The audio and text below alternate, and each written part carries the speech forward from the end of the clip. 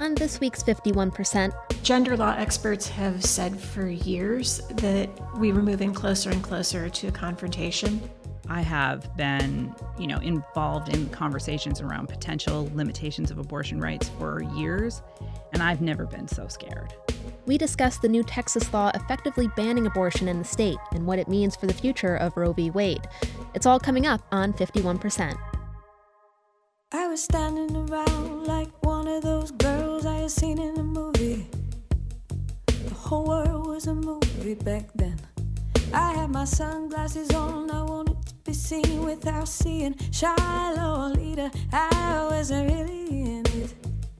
I didn't really get it. You're listening to 51%, a WAMC production dedicated to women's issues and experiences. Thanks for tuning in. I'm Jesse King. We're going to try to tackle a very sensitive subject today, and if you've listened to the news at all over the past couple of weeks, you know where I'm headed. On September 1st, Texas enacted a total of 666 new laws, among them Texas Law SB 8, currently the most restrictive law on abortion in the country. The Texas Heartbeat Act effectively bans abortion at six weeks in a pregnancy, the point at which an embryonic or fetal heartbeat can be detected. Now, abortion rates are already at historically low levels in the U.S. According to the latest numbers from the Guttmacher Institute, in 2017, the country saw its lowest abortion rate since Roe v. Wade in 1973, at 13.5 abortions per 1,000 women ages 15 through 44. However, Guttmacher estimates that as of 2019, 58% of reproductive aged women live in states hostile to abortion rights. In 2021 alone, states have enacted at least 97 abortion restrictions, the green lights being the coronavirus pandemic and the growing conservative majority on the Supreme Court, which is expected to take up a Mississippi case that could overturn Roe v. Wade by the end of the year. Again, Texas law SB 8 is even more restrictive than the Mississippi law in question, and it has its own elements that are making abortion providers very nervous. Planned Parenthood and other groups tried and failed to keep the law from going into effect by suing over the summer. During the suit, I spoke with Chelly Hegan, the president of Upper Hudson Planned Parenthood in New York. I mean, I'm an optimistic person generally, and I have been, you know, involved in conversations around potential limitations of abortion rights for years, and I've never been so scared.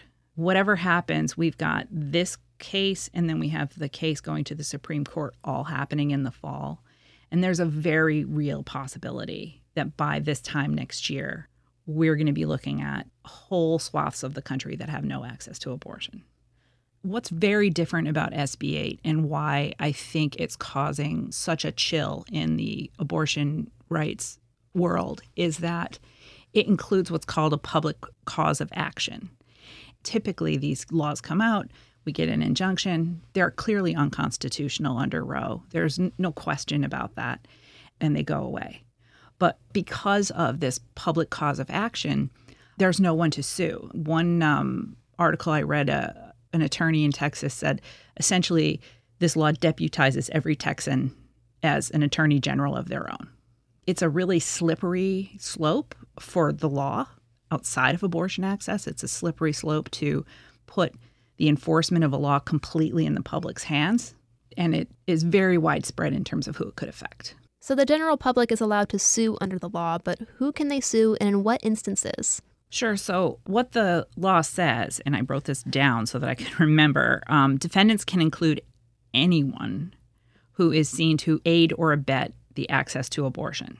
So, that can be doctors, nurses, receptionists in a health center, administrators for a health center, parents who drive their child to a clinic, partners who bring their partner to a clinic, a friend who may loan them the money. And then it can go further. It can also sue attorneys who have defended abortion access.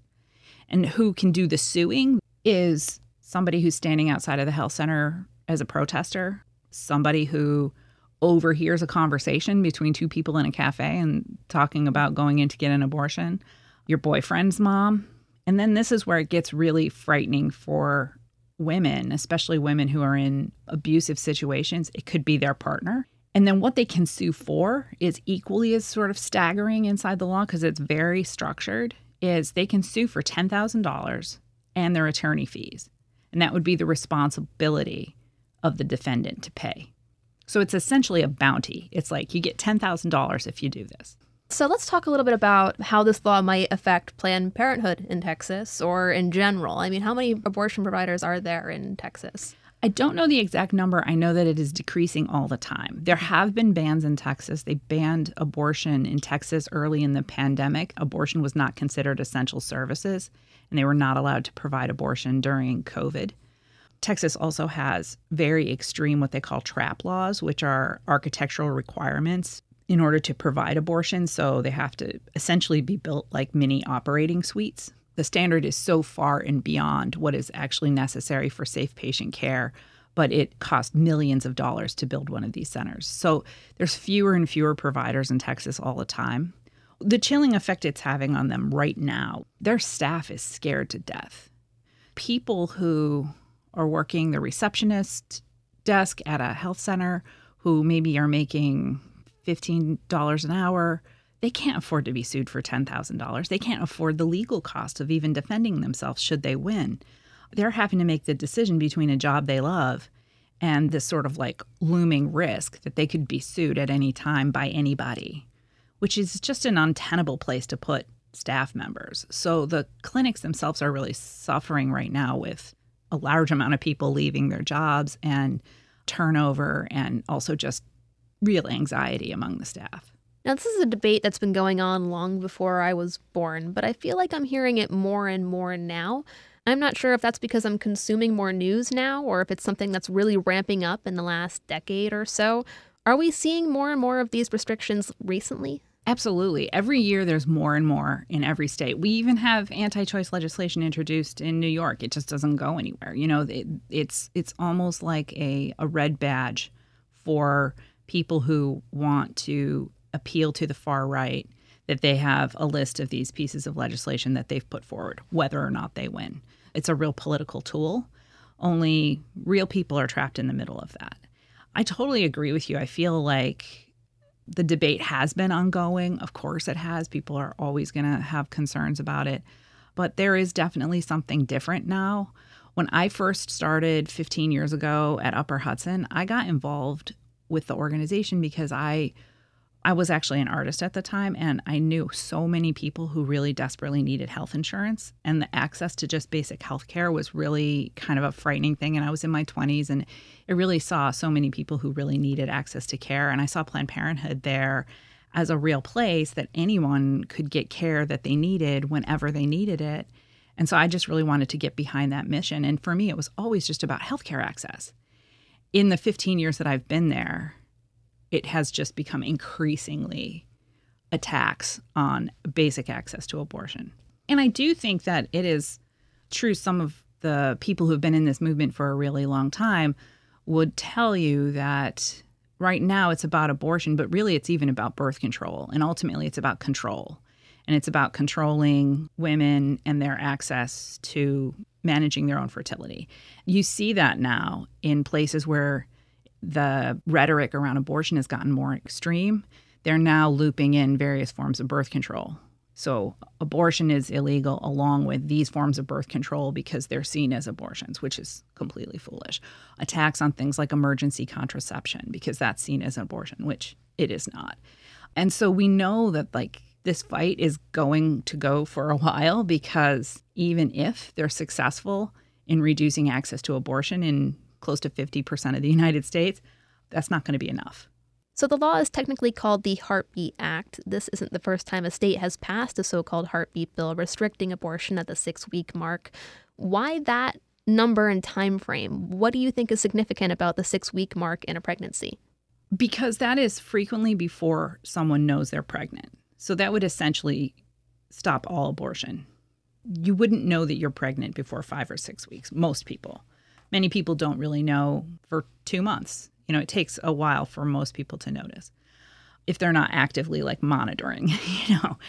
That short, short window creates a possibility that it's not possible for someone to get an abortion. And then if you lay on top of that, uh, you know, here in the capital region, we have Upper Hudson has three health centers in Albany, Troy, and Hudson.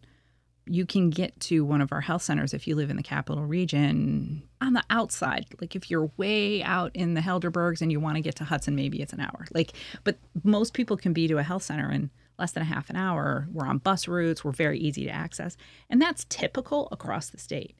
That's typical in places like California and Oregon and Washington State, Illinois. But in places where abortion has been under attack for all of these years, they have very limited access already. You know, Mississippi has one. That's why the case that the Supreme Court is going to hear in the fall is one. Texas has very few. Minnesota has two or three. North Dakota has zero. You know, there's like no access in many parts of the country.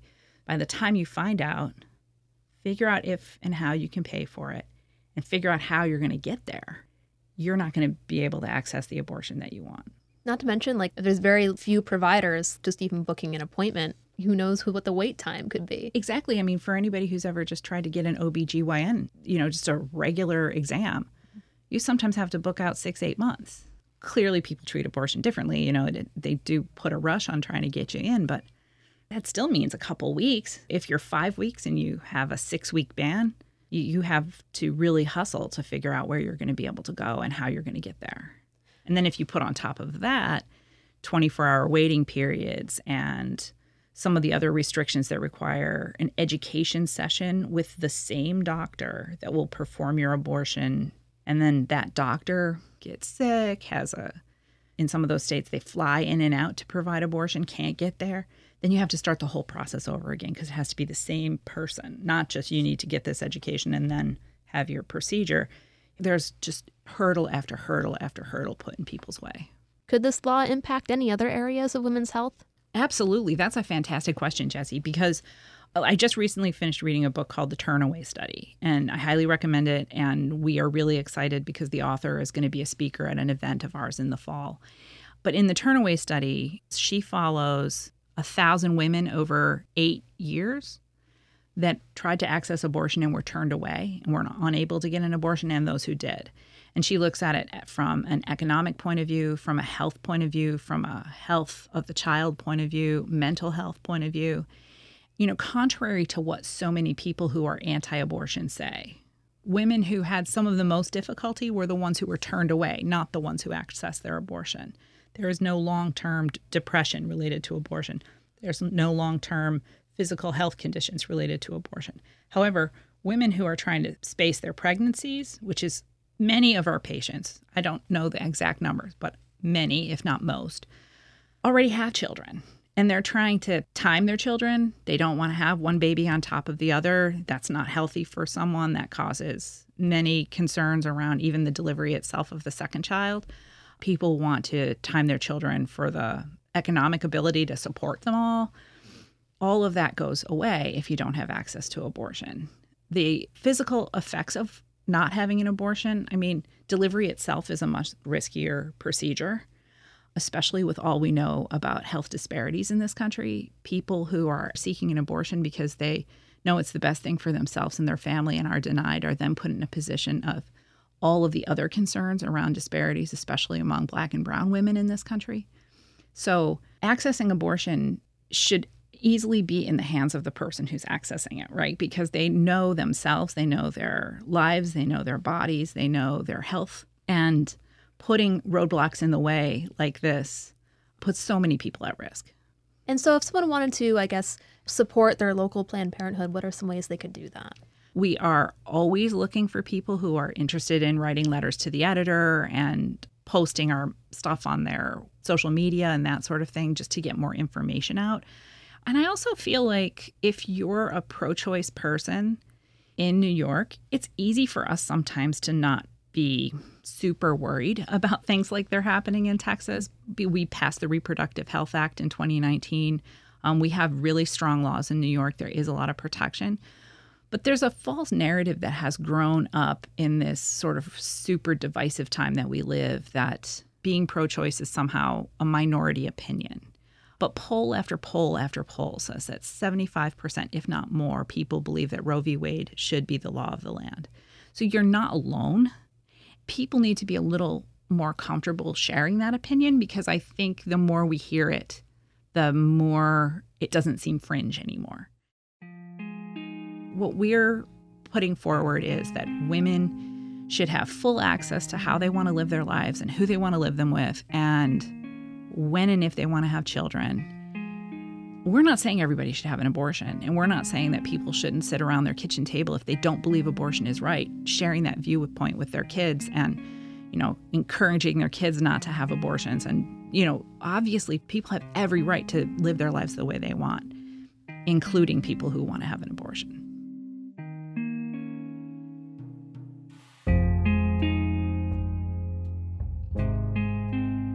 As I mentioned earlier, the initial lawsuit by Planned Parenthood and several other groups failed to prevent the law from going into effect.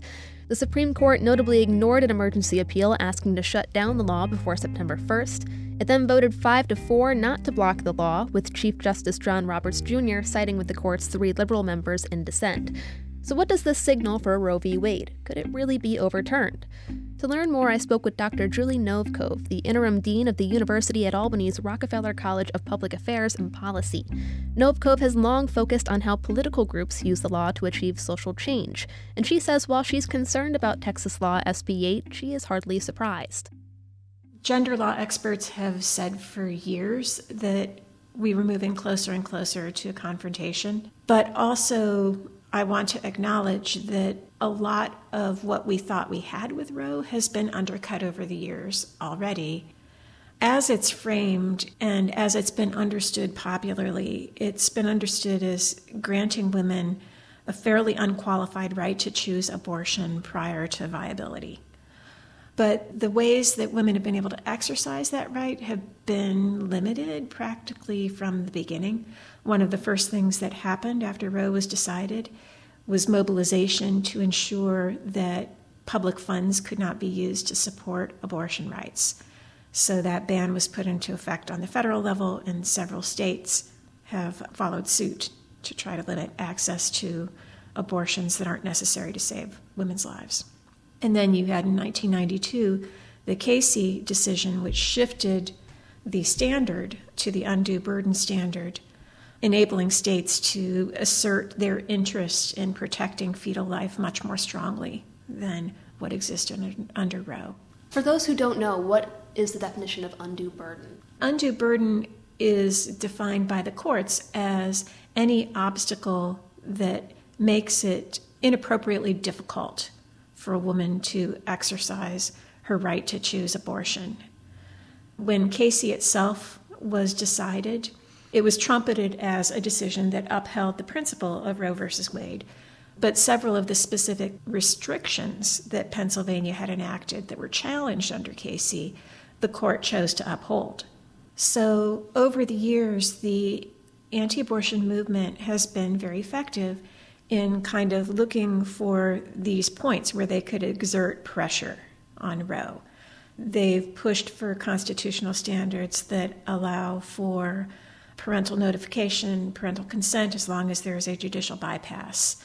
Regulations that require doctors to have admitting privileges at hospitals before performing certain types of abortions have been upheld if drafted properly, restrictions on particular methods of procuring abortion have made it through the courts.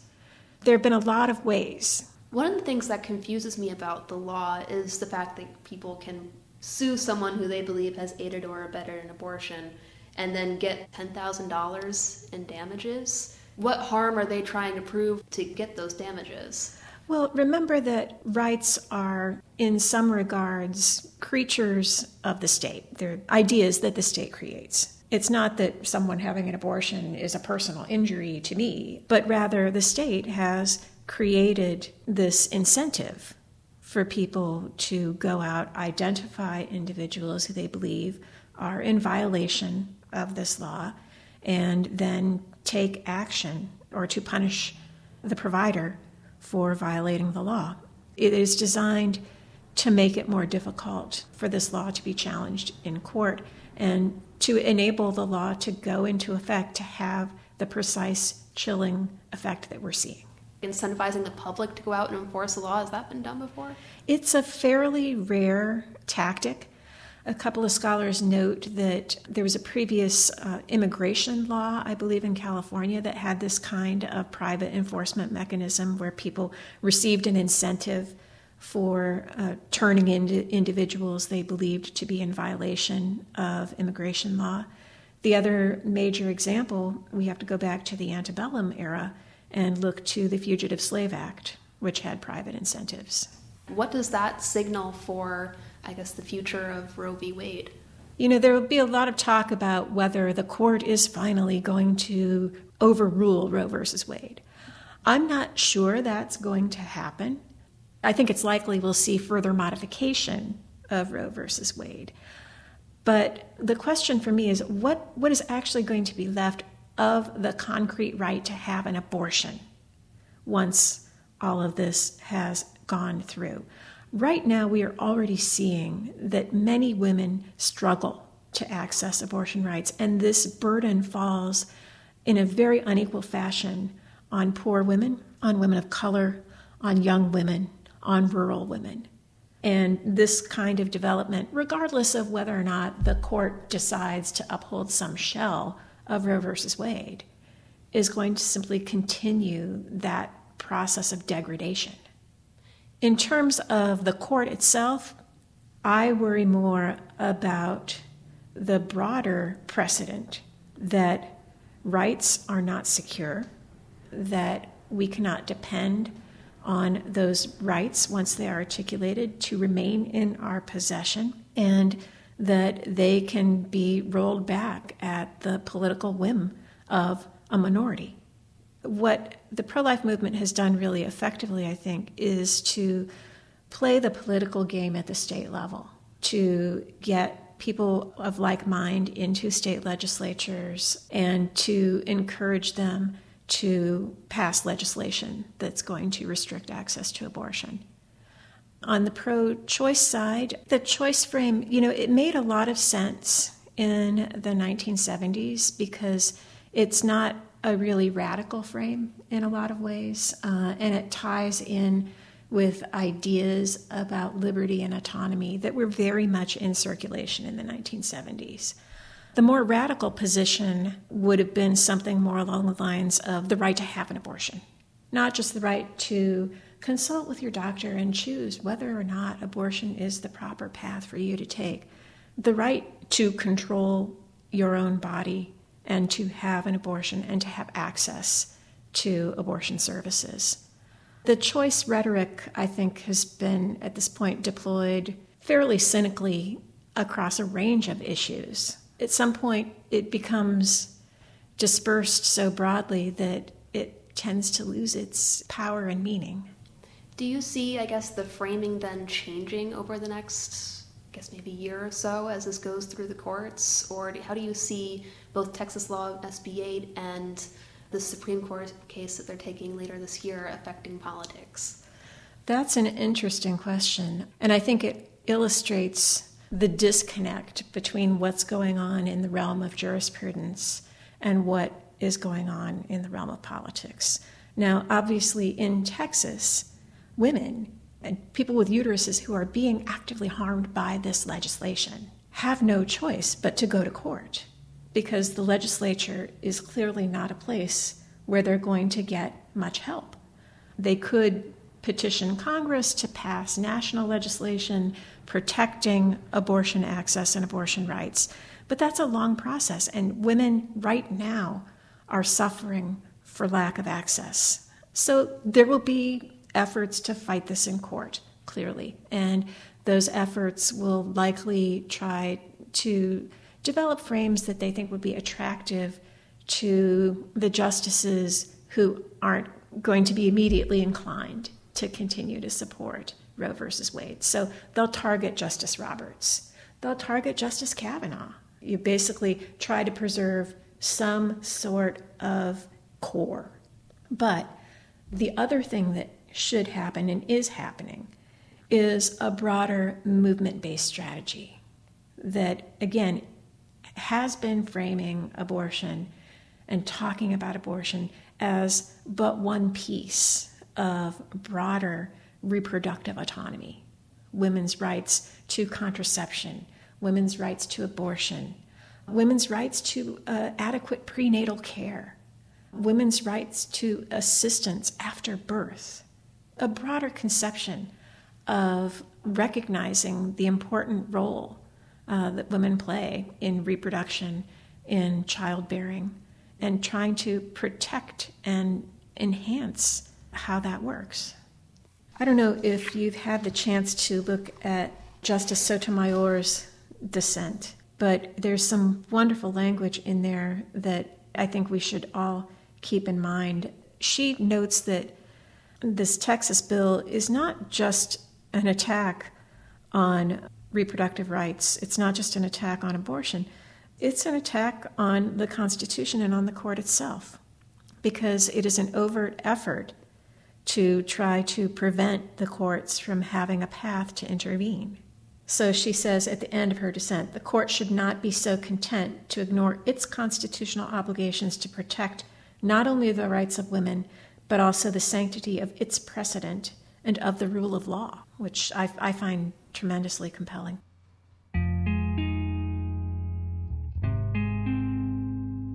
Earlier in the show, Chelly Hegan pointed out that the majority of Americans support abortion rights, and she's right.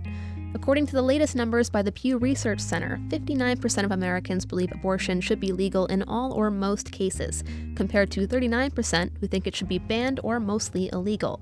These numbers have been relatively stable for at least the past five years, but nonetheless, it's a divisive topic that has long driven party politics, even among women. 37% of women lean toward banning abortion, so there are presumably a good number of women pleased with Texas Law SB 8, and we shouldn't forget that. You know, just before we wrap today's episode, the Justice Department sued the state of Texas over the Heartbeat Act. Only time will tell whether the law will stand, whether similar ones will follow, and if so, how they will be administered practically. But the thing that changes the game with this law is that it forces the abortion debate out of just the legislative and judicial realm and places it directly in the public's hands. And considering our lives are becoming increasingly partisan and political on a number of fronts, that is concerning. For now, this is a very public and personal battle. In just the past couple weeks, we've seen activists on TikTok spamming Texas Right to Life with fake whistleblower tips. Companies like Lyft have pledged to cover all potential legal fees for their employees. Meanwhile, other countries like Mexico are moving toward legalizing abortion. So it'll be interesting to see how our government handles things moving forward, five decades after Roe.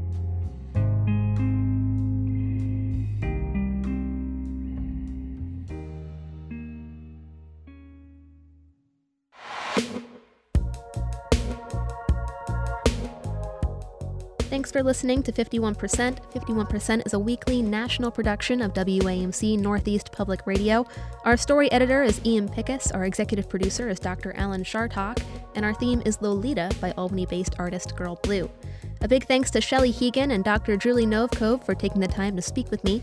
To learn more about our guests, check us out on WAMCpodcast.org. You can also find new and old episodes there as well, and you can find us on Facebook and Instagram at 51% Radio. Until next week, I'm Jesse King for 51%. I was every single girl, I was nobody else, I was so sure of myself. I was 15 and a half, he was a hollow laugh. And I lost my cool somewhere along the way. At night and down the hallway, I had to learn how to look away. I lost my cool.